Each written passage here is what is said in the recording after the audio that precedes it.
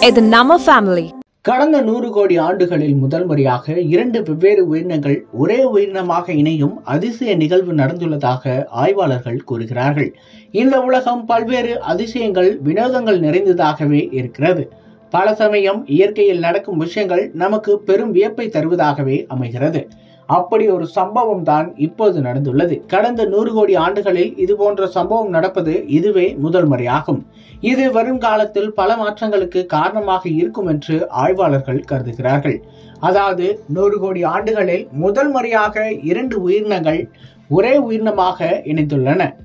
இதை ஆய்வாளர்கள் பிரைமரி எண்டோசைம்பியோசிஸ் என்று குறிப்பிடுகிறார்கள்.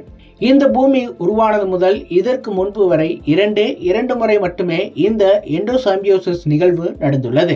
முதல் முறை நடந்தபோது மைட்டோகான்ட்ரியா என்ற சிறு உயிரினம் உருவானது. இதுவே அடுத்தடுத்து பல்வேறு வகையான உயிர்களும் தோன்ற வழிவகுத்தது. அடுத்து இரண்டாவது முறை ஏற்பட்ட போது அதுதான் தாவரங்களின் தோற்றத்திற்கு வழிவகை செய்தது. இதற்கிடையே சர்வதேச ஆய்வாளர்கள் இப்போது மீண்டும் இது போன்ற ஒரு நிகழ்வு நடப்பதை உறுதி செய்துள்ளனர். கடலில் பொதுவாக காணப்படும் ஒரு பாசி வகைக்கும் ஒரு பாக்டீரியத்திற்கும் இடையில்தான் இந்த பரிணாம நிகழ்வு ஏற்பட போகிறது இது குறித்து கலிபோர்னியா பல்கலைக்கழக ஆய்வாளர் டயலர் கோலை கூறுகையில் இந்த நிகழ்வு முதல் முறை நடந்தபோது பல புதிய உயிரினங்கள் தோன்றின. அடுத்தடுத்து பல்வேறு உயிரினங்கள் தோன்ற இந்த மைட்டோகான்ட்ரியா நிகழ்வு மிக முக்கியமானதாக இருந்தது. அதன் பிறகு மீண்டும் நூறு கோடி ஆண்டுகளுக்கு முன்பு ஒருமுறை இந்த நிகழ்வு நடந்தது. இப்போது அதே நிகழ்வை குரோமோபிளாஸ்ட் என குறிப்பிடுகிறோம். செடி கொடி போன்ற தாவரங்கள் உருவாக இதுவே முக்கிய காரணம் என்கிறார்.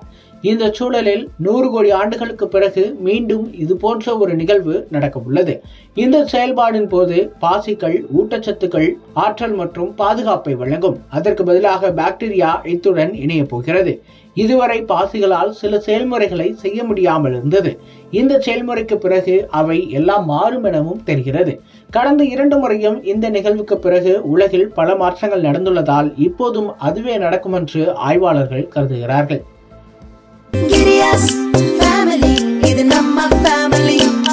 அன்புள்ள கிரியஸ் இது நம்ம ஃபேமிலி